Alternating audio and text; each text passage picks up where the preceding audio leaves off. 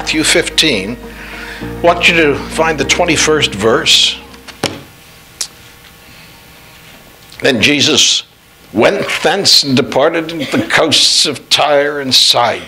So our Lord's, uh, he's headed in a uh, strange direction.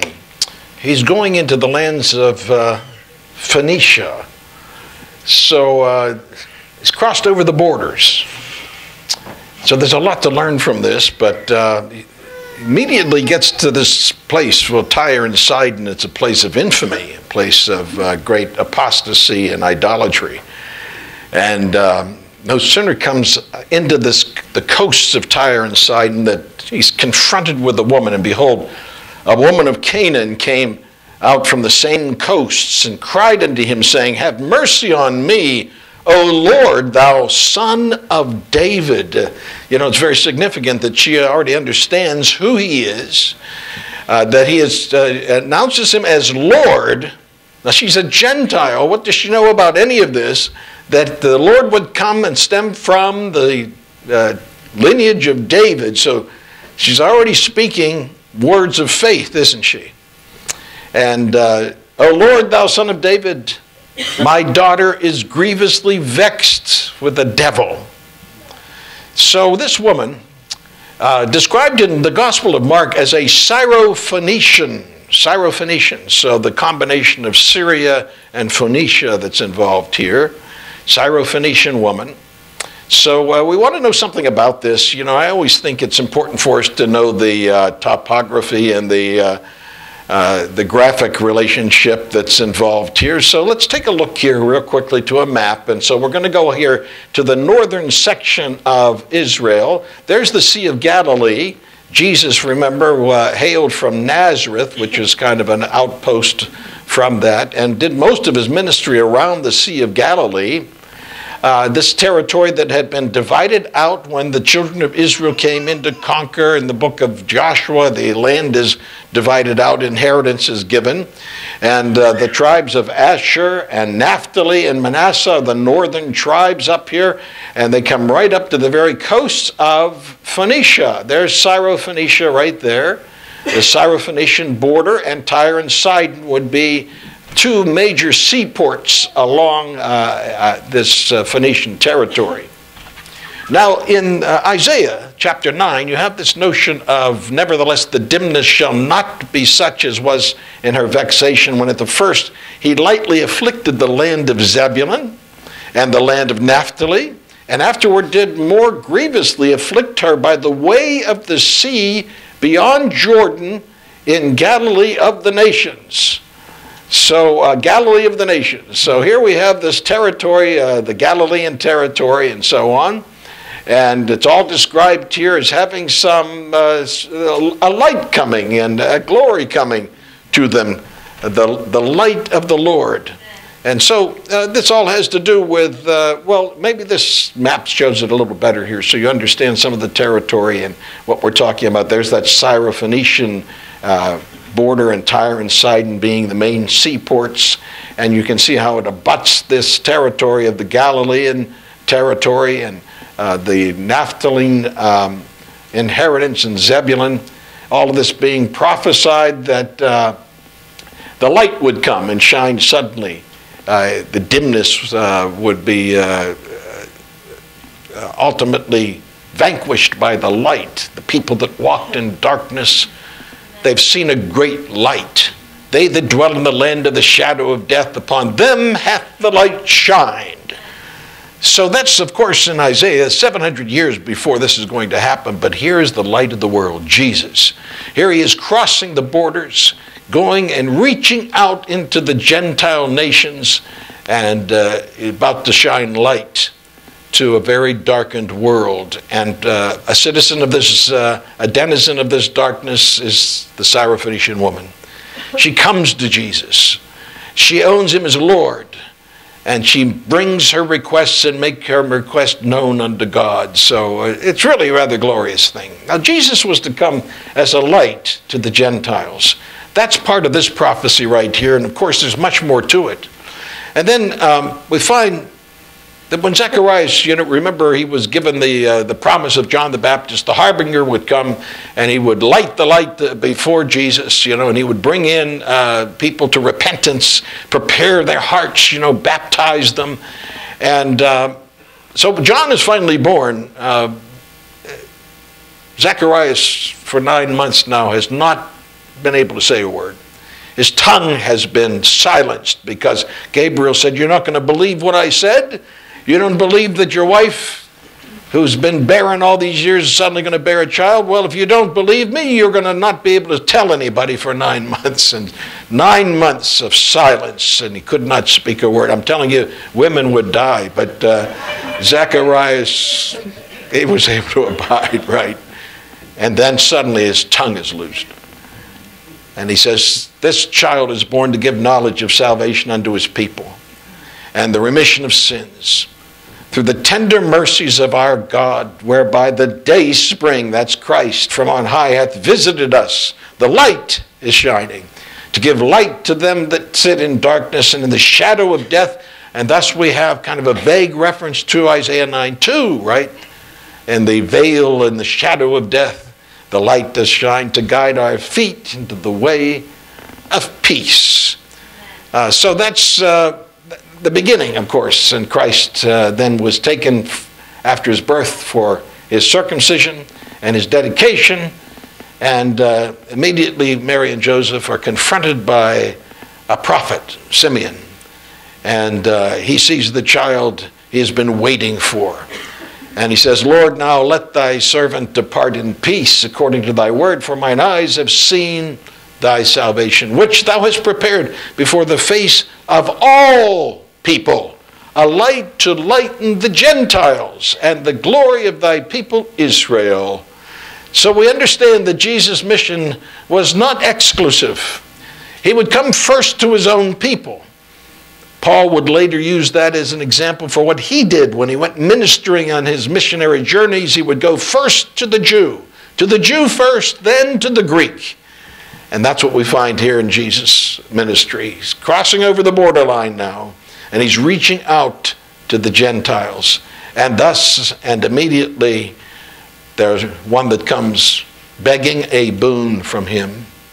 So, and behold, this woman came and said, O Lord, thou son of David, my daughter is grievously vexed with the devil. You've got to come to help me. I need your help, Lord. I hope your daughters aren't vexed with devils. Are they? Your sons? Your children? I tell you, beware. The devil is a crafty enemy, and he has many designs, and he, he does things subtly like a serpent, but he brings a venom for certain. You've got to protect your daughters and your sons from the influence of the devil. Our children today are grievously vexed with the devil. What do you mean?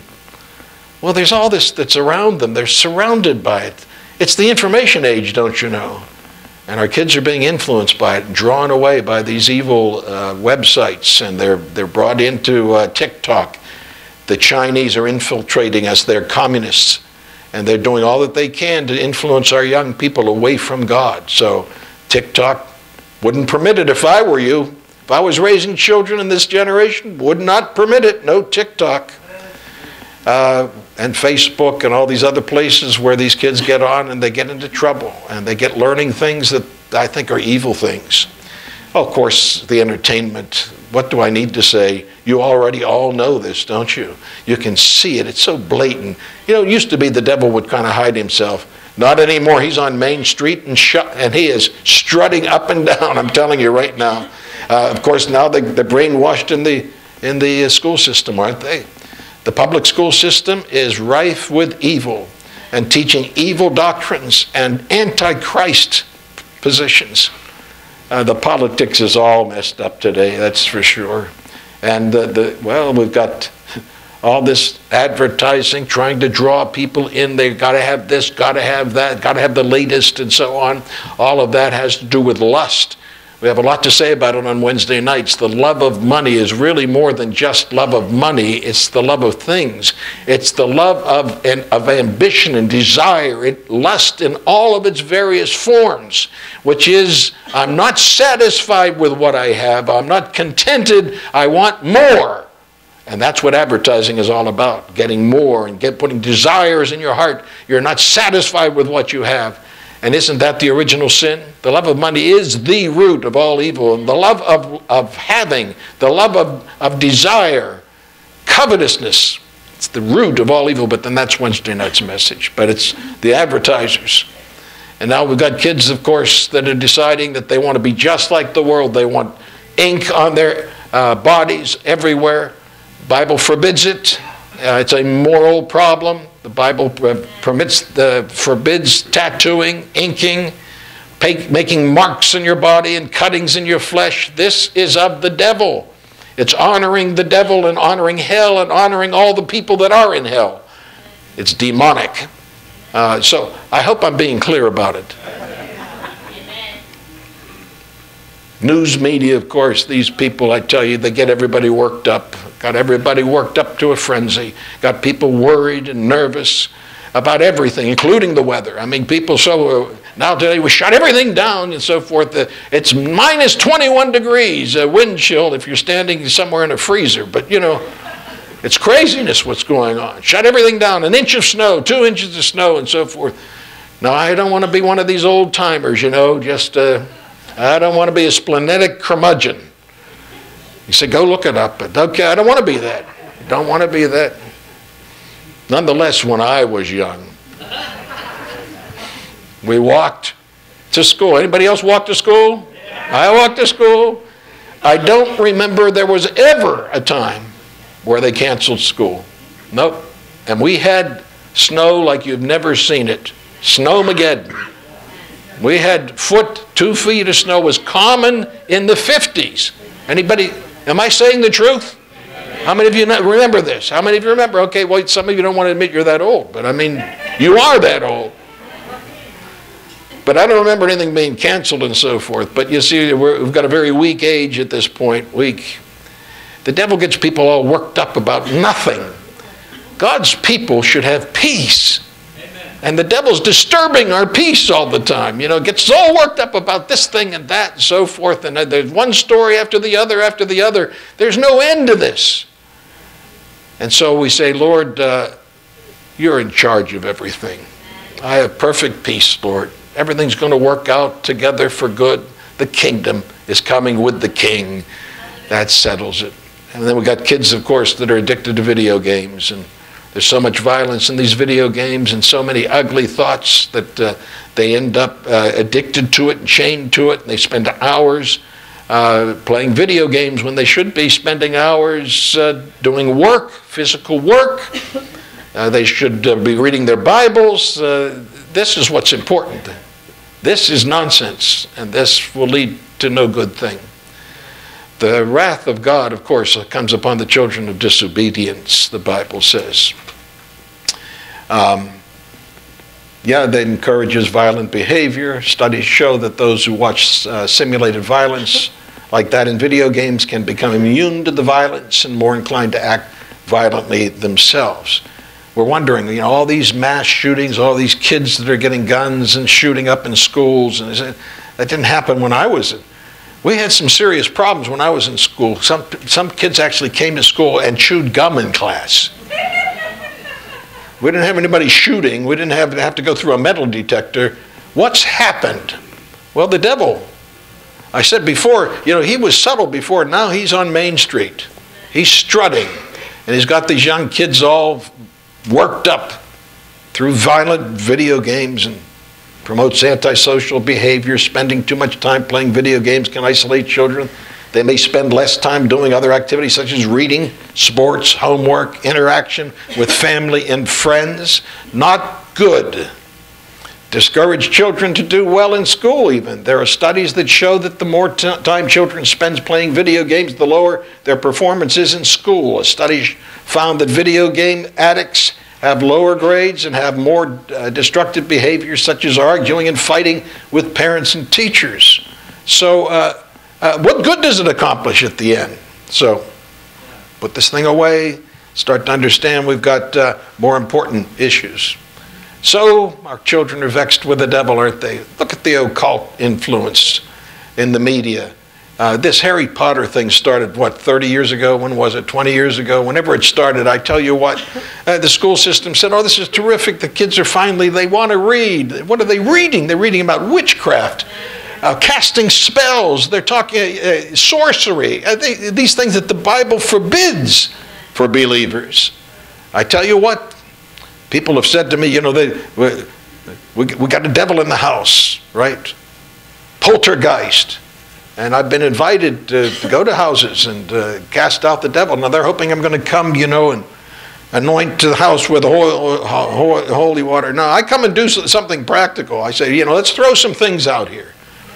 Let me see what your video games are all about. Let me see what your television shows you're watching. Let me see what you're, what you're reading here. Let's throw these things out, cast the devil out of here. Don't give him an open door to your house. Shut him out. We don't need him here.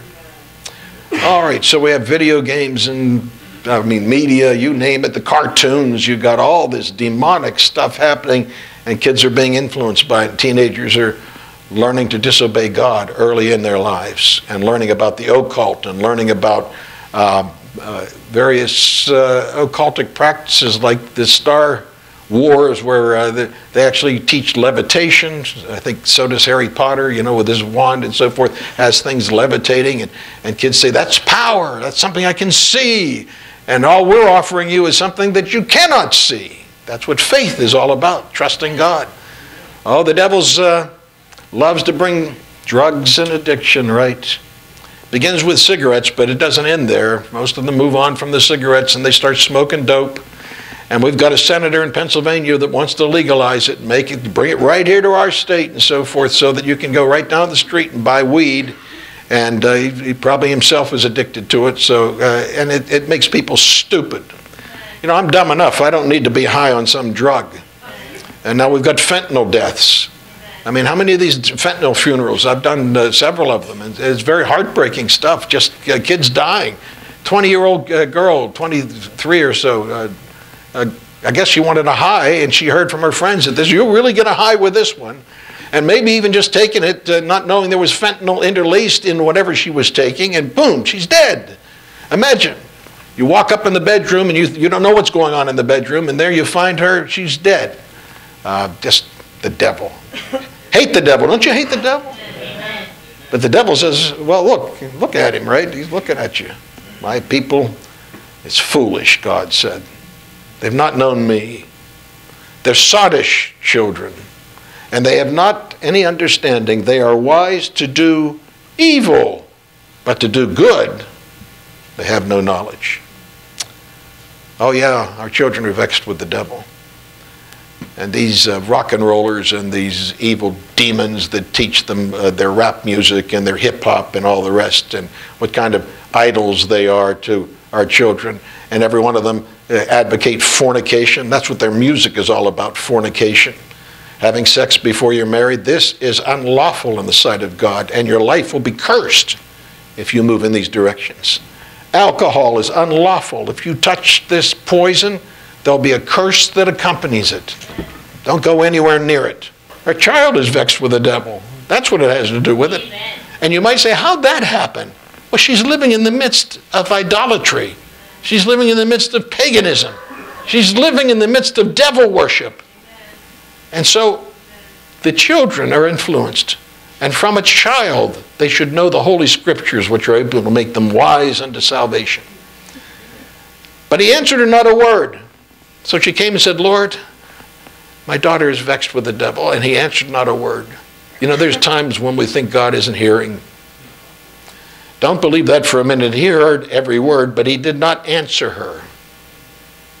Now, there's, there's a reason behind this, and I want to tell you if you're going to find God, you have to seek Him with all of your heart. There are too many people that are just half heartedly, you know, maybe they'll believe, maybe, you know, it's like they'll give God a chance, and that won't work. Jeremiah said, You shall seek for me, and you shall find me when you search for me with all of your heart. Amen. And so you see, You can't just come to Jesus and say, Lord, I want this, that, and the other, and so forth. He doesn't answer. He's waiting, waiting to see if you really mean this or not. Answered not a word. And his disciples came and they besought him, saying, Lord, send her away. She crieth after us. She crieth that? What do you mean? Well, you see, they're the bodyguards. Jesus is at rest, and they're saying, he's not seeing, he's not seeing people today, right? And here comes this Gentile, and they're all Jewish, and there's already an animosity between them and a certain xenophobia they'll have nothing to do with. And here's a Gentile coming. They don't even want to be here in Syrophoenicia. Perhaps they've already queried Jesus on the matter. What are we doing crossing a border into Gentile land? We're not, we'll be unclean by being here amongst these people. They didn't understand his mission, did they? And so here's a Gentile woman coming. They said, No, no, he's not, he's not entertaining requests today. And she crieth after us, which means she did not take no for an answer. Now, that's a wonderful attribute that most women have, right? Amen. They don't take no for an answer. And they say to their, well, their husband has to, they'll nag and pick and so finally the husband says, all right, can't take anymore, right? That's a good thing. If it's a right issue, it's a good thing. So they said, hey, stop her. Lord, she's bothering us. She won't say, take no for an answer. And uh, I think it's a glorious picture here, right? And, uh, but he answered finally. He said, I'm not sent, but unto the lost sheep of the house of Israel. So that's, that means no, doesn't it? That means I can't do this. I have to feed my own children first. I, I can't, there's nothing I can do for you. And uh, so that means she goes away, right? No, no. She said, uh, then came she and worshiped him.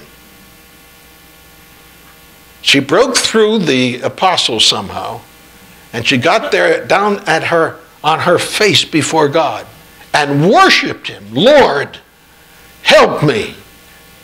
Now, what a pathetic cry. Lord, help me.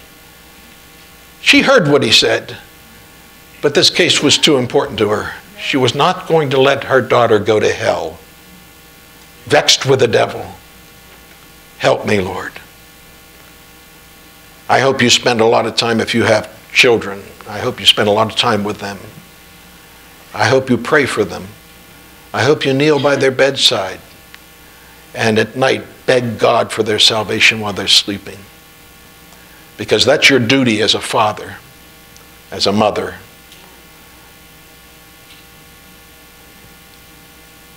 Help me, Lord. Haven't you ever asked Him for help? Amen. Why, the Lord is my helper. Right? Hebrews 13, 6. The Lord is my helper. I will not fear what man shall do unto me. Yes, He's our helper. That's one of His many titles, the Lord, my helper, my parakletos, my comforter, my helper. And, and He's here to help us. Now, I almost you're probably tired of hearing my same illustrations, but you know, I stroked 10 years ago and I needed help. I was in a helpless condition. I could not speak. I could not move my left hand or my left foot. Uh, I could not obey commands. When I spoke, my mouth like that. So I was in trouble. I was in trouble and I needed help and they rushed me down to Shadyside Hospital, and down there they uh, strapped me in and said, "You're to, we're going to have to give you this TPA shot, and we're going to, uh, you have to sign for this because you, you know, it's a dangerous drug. It's a blood thinner, super blood thinner. You could, you could uh, hemorrhage. You could die from it." And uh, you know, I don't know what the, I'm signing my life away. Maybe I don't know. And they said before, we got to take you in for the MRI. And they strapped me into the MRI and took me in, you know, and they uh, wheeled me in there and they got my head, you know, in a way so it can't shake and so forth. And um, the MRI, and they said, no, we're going to find out whether you had a stroke or not. And sure enough, I came out and they said, you've had a major stroke and it's on the right side and we can see it. And you, know, you had a blood clot up there. And we're going to give you the shot. And before they gave me the shot, I was in that MRI and I was reciting this verse right here Isaiah 41 10. Fear thou not, for I am with thee. Be not dismayed, for I am thy God. I will strengthen thee. Yea, I will help thee. Yea, I will uphold thee with the right hand of my righteousness. Well, I needed help. I needed strength. I needed him to uphold me. And he promised to do just that. And so it came out, as you, I think you all realize, I came out without any residual effects from the stroke. And I see people almost every week when I'm ministering in these various places, and I see them with strokes, and I think, that could be me. But the Lord was very merciful, and He was my helper. For the Lord thy God will hold, hold thee by your right hand, right? Saying unto thee, Fear not, I will help thee. Fear thou not, thou worm Jacob, and ye men of Israel, I will help thee, saith the Lord, thy Redeemer, and the Holy One of Israel. The Lord is your helper. And here's this Gentile, has foreigner to the promises of God and the commonwealth of Israel, falling on her face and worshiping, knowing all her false gods couldn't save or help her. But the Son of God could. Help me, Lord. What a pathetic but beautifully um, productive cry. The Lord is my helper. So we have this word parakletos in the Greek, and it has a number of meanings, but one is the comforter, that's a good one. An intercessor, wonderful, helper, counselor, and even an advocate and a defender at the court of law. Uh, so let's take all of that word in, and it's a powerful one at that. And Jesus is all of that and more the comforter, the helper, the counselor, the advocate, and the defender at the great bar of judgment. I'll tell you what, you can't miss with that legal team when you stand before the Lord. My little children, these things write unto you that you sin not. If any man sin, we have an advocate with the Father, Jesus Christ the righteous. He is the propitiation for our sins, and not for ours only, but also for the sins of the whole world. What a helper we have in Jesus. All right. So, we might say, Happy is he that hath the God of Jacob. After all, she said, Son of David, right? Hath the God of Jacob for his help, whose hope is in the Lord his God. Let's not forget this woman is Syrophoenician. Where has her help and hope been for these many years? In a false god called Baal. That's who her worship was. And to the female goddess, the mother, the queen of heaven, she's called, Ashtaroth. These Phoenician gods that have no power. The Lord is great and greatly to be praised. He's to be praised above all the gods, for all the gods of the nations are idols. But the Lord made the heavens. So false gods can't save you. They, they're, they don't, they're called gods, but we'll put a little G on that. That's all. They're, they're gods the way the people look at them, the idols of the world, but they can't help you only the living God. And so she brought her petition before the living God. But he answered and said, It is not meet to take the children's bread and to cast it to dogs. Mm. Harsh words. Those are harsh words, but they're true words. Now, commentators like to soften the blow a bit and say, well, wait, he meant really like a little puppy. He said, You're just a little puppy. No, no, no, that's not what he meant. He meant to say a hard thing. It is a hard thing. Jesus says hard things. Wonders how you'll react because I've seen it in 50 years of ministry. When you say a hard thing, people get offended. And that's it. She could have easily just said that. You call me a dog? I'm out of here. Or she could have said, roof, roof, roof. Right?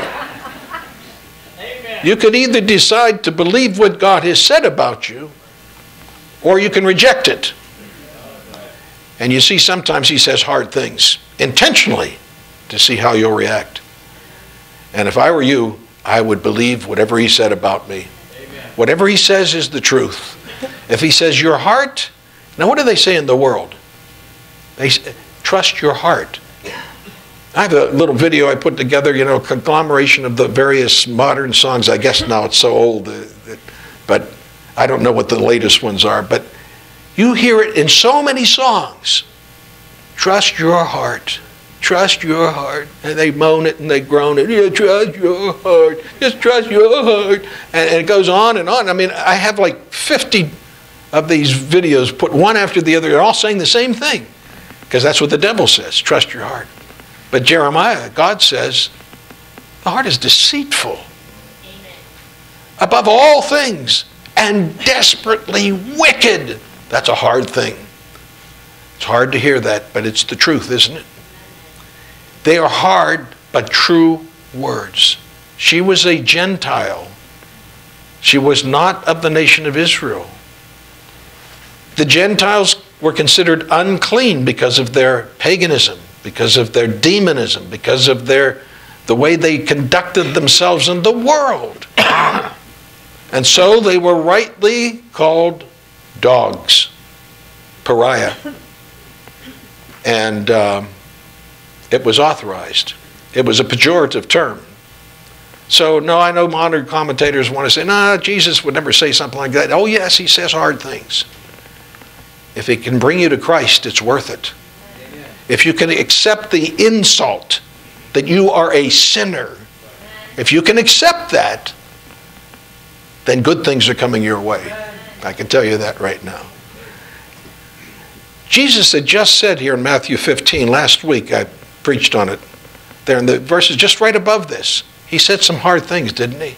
Very hard things. He said, out of the heart proceed evil thoughts, right? Out of the heart. Uh, murders, uh, theft or adultery. Uh, what's next here? Fornications. I think thefts are coming up here. Thefts, right? So he said, false witnesses, liars, and blasphemies. He said, all these things come out of your heart. It's out of your heart. Beloved, that's why we need a new heart. This heart is corrupt.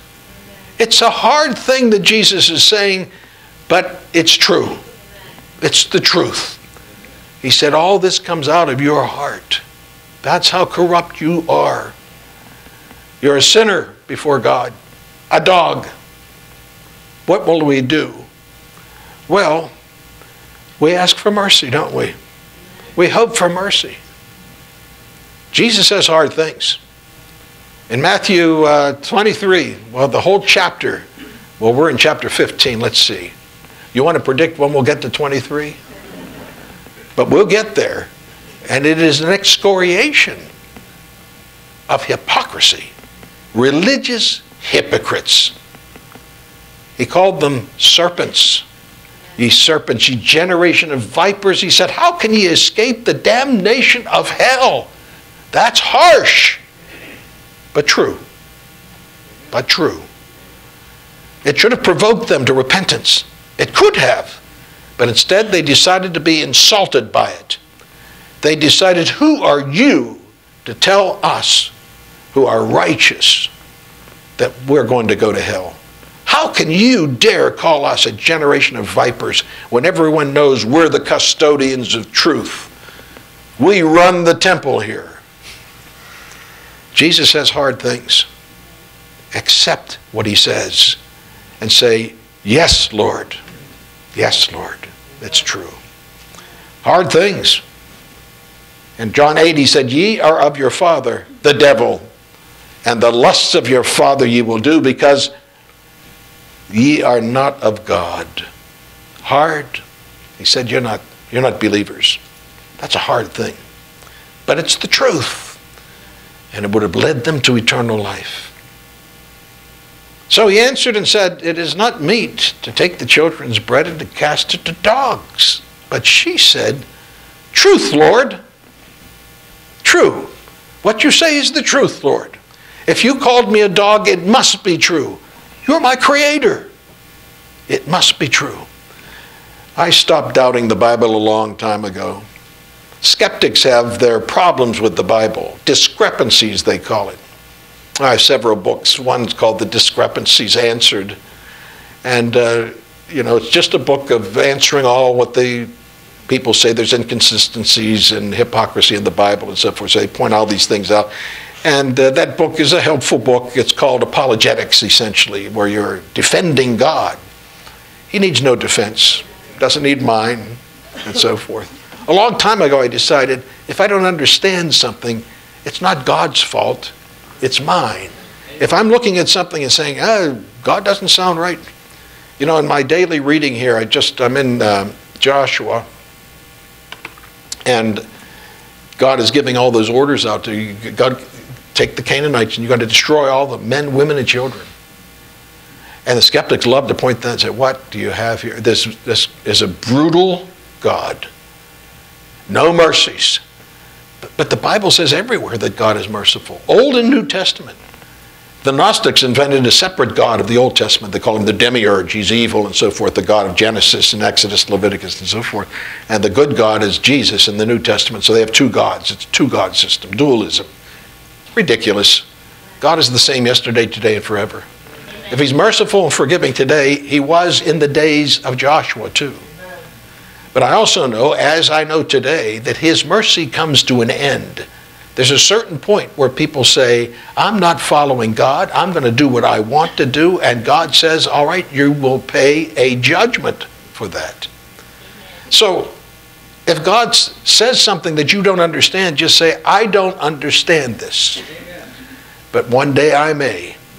His ways are not our ways, and his thoughts are not our thoughts, Isaiah 55 says. For as the heaven is high above the earth, so high are his thoughts than my thoughts, and his ways than our ways.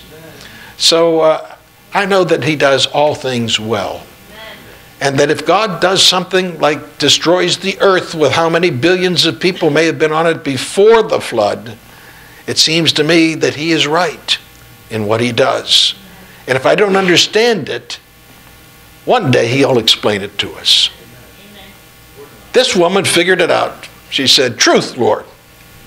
Did you call me a dog? Truth, Lord. You're right. I am a dog. In other words, she said, bow wow, right? I, I'm a dog. Truth, Lord. But, she said, if I recall, the dogs eat from the crumbs that fall from the master's table. Well played. She knew if she kept asking, she would find a way to the heart of the Lord. And so she never gave up. She didn't go away. She kept praying. If we're going to pray, we better learn how to pray without ceasing. It says that in 1 Thessalonians 5 17. There it is. Pray without ceasing. It's only three words, it's an imperative. We have those bite sized imperatives there at the end of 1 Thessalonians. Rejoice evermore, pray without ceasing, and everything give thanks. This is the will of God in Christ Jesus concerning you. Quench not the spirit. You know, they're just bite sized commandments. Believers ought to live by them. Pray without ceasing. What's he mean? Never give up. Never give up. I know there are times that you say, well, I, it just seems like it's getting worse. I'm praying for my father. I'm praying for my daughter. I'm praying for my grandson. Or I pray this, that. Seems like it's getting worse, Lord.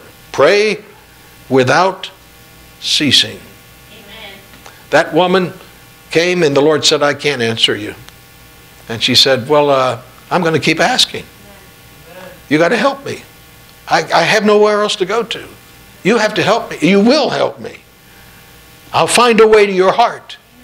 Well, no, she, I can't. I've got to feed the children first. Well, I'm a dog, but feed me the crumbs. That's all I need. You're that powerful. You're omnipotent. I don't need much from you, Lord. Just a few crumbs. That'll be enough. And I don't know, the Bible doesn't say, but did a smile cross the face of Jesus at that point? Amen. Did he say, You passed the test? You passed the test. I think that's what happened here. she had to pass the test. And she said, Lord, whatever you say about me is the truth. And all I need is a few crumbs. Will you help me now? You'll have your requests. If you pray without ceasing, if you continue instant in prayer, if you, like Job, who sent and sanctified his children every day, rose up early in the morning and offered, made offerings according to uh, the number of them all. For Job said, It may be that my sons have sinned and cursed God in their hearts. And this did Job continually. Oh, yeah. And Abraham, oh, let not the Lord be angry, and I will speak yet but once more, right? Peradventure, ten shall be found there. And he said, I will not destroy it for ten's sake. He had gone from 50 all the way down to 10. And God said, for, I'll, I'll do it for 10. I'll save the whole city for 10. I don't think Abraham realized. He said, that should be it. Let's see, there's my two daughters, their sons in law, right? And then they have children. He counted up, he said, 10, that should do it right there. I guess he figured they were all saved. And he wasn't counting on the fact that they weren't saved. Else he could have kept praying. Never stop. Jacob learned, wrestling with the angel till the breaking of day. And he said, uh, the angel said, Let me go. The day's breaking. And he said, I will not let thee go, except thou bless me. Daniel, well, he continued, even though it was against the law to pray. Against the law? What kind of laws did the Medes and Persians have? They're trying to institute them right here in free America. They're trying to silence speech. I read an article about this uh, quarterback who was an outspoken Christian, apparently. Now, I'm not vouching for any of this because we've seen too many of this go the wrong way. But uh, he's just a rookie, C.J. Uh, Stroud. And when they interview him, he, ta- he says, All glory to my Lord and Savior, Jesus Christ.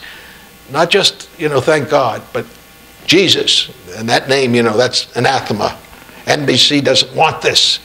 Uh, but he's going to give glory to Jesus Christ for anything that happens.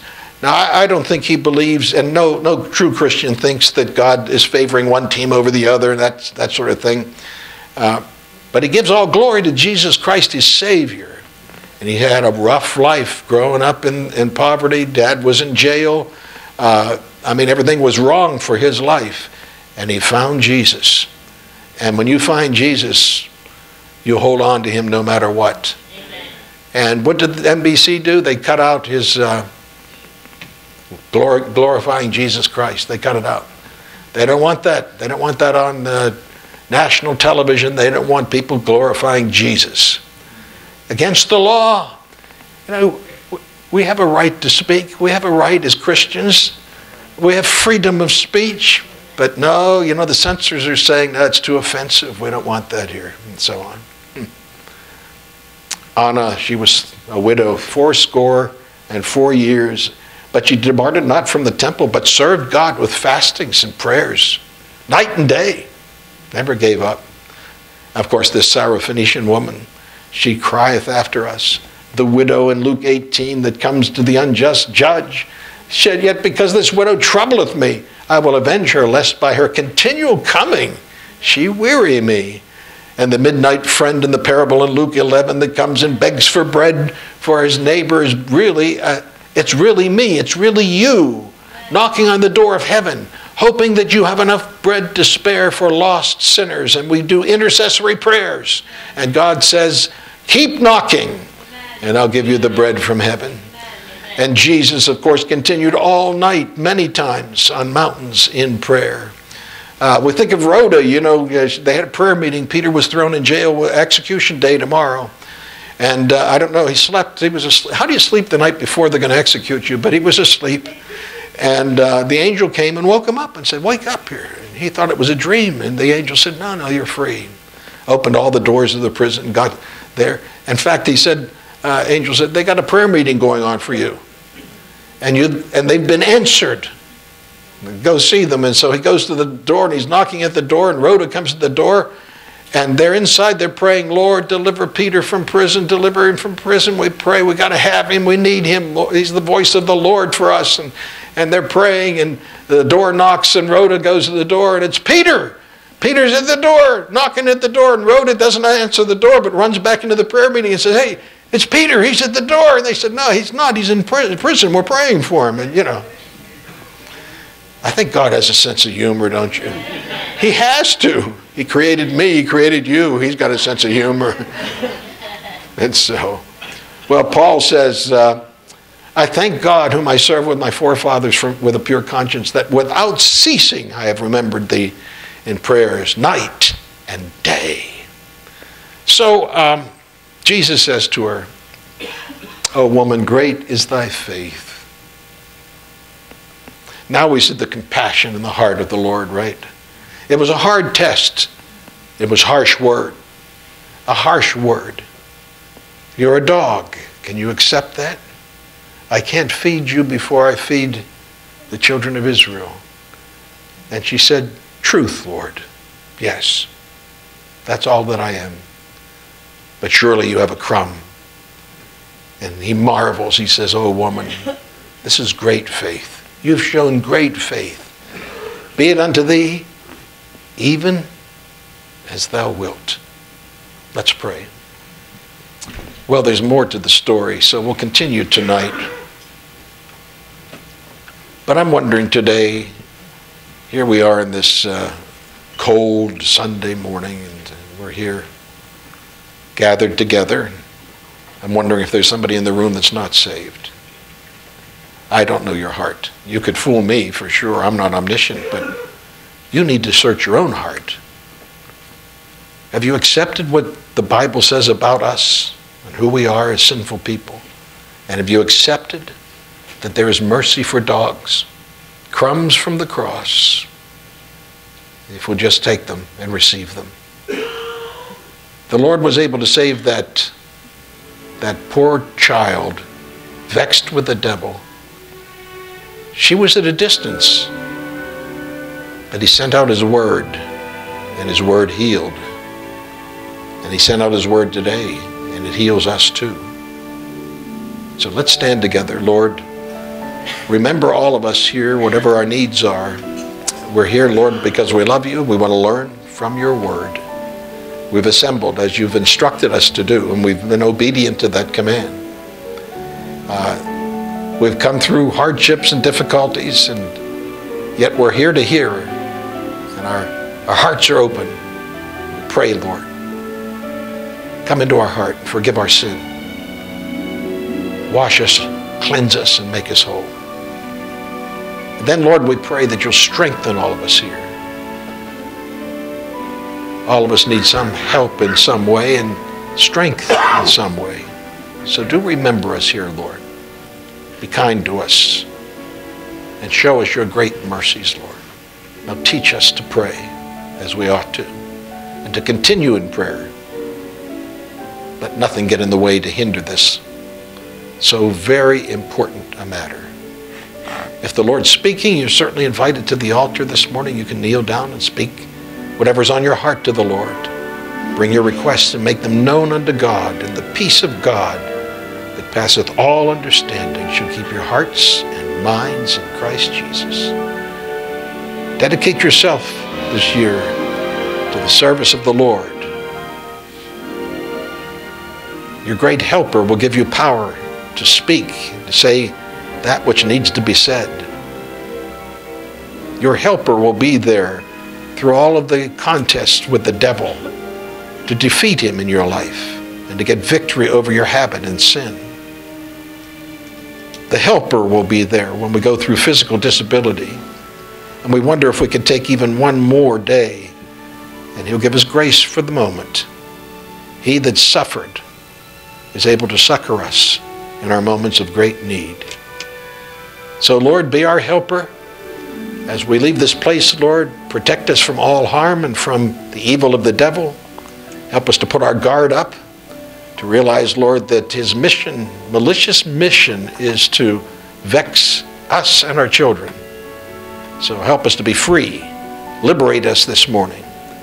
Let us not be fools, but wise to his craft. We pray, Lord, that we'd understand his subtleties. The more we hear from your word, the uh, wiser we will become. Give us understanding, Lord, we pray. Then, Lord, give us uh, the joy of Jesus. Help us to be glad that we're saved and citizens of another world. And we pray that we'd begin living like that.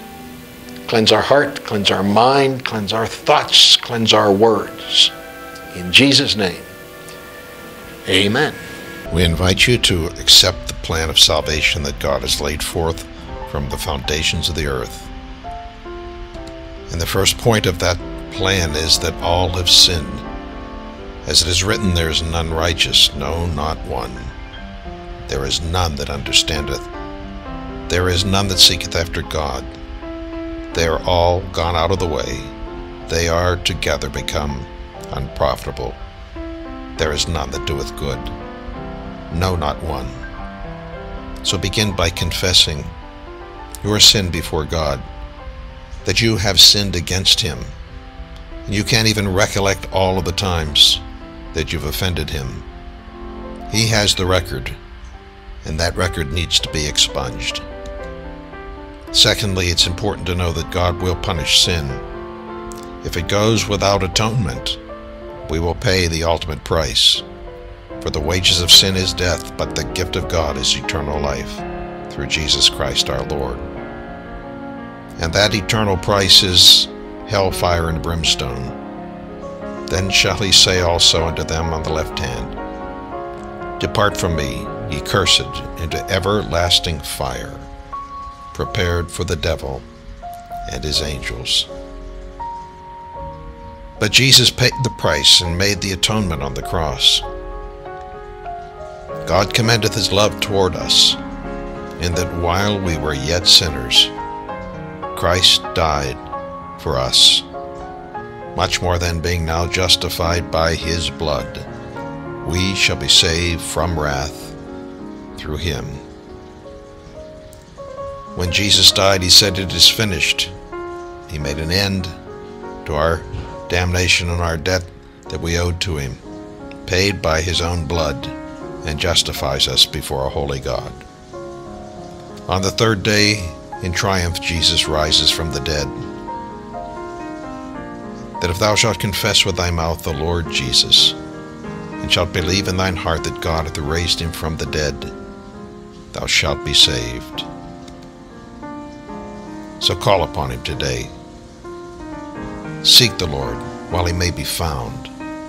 Call ye upon him while he is near. For whosoever shall call upon the name of the Lord shall be saved. Behold, now is the accepted time. Behold, now is the day of salvation.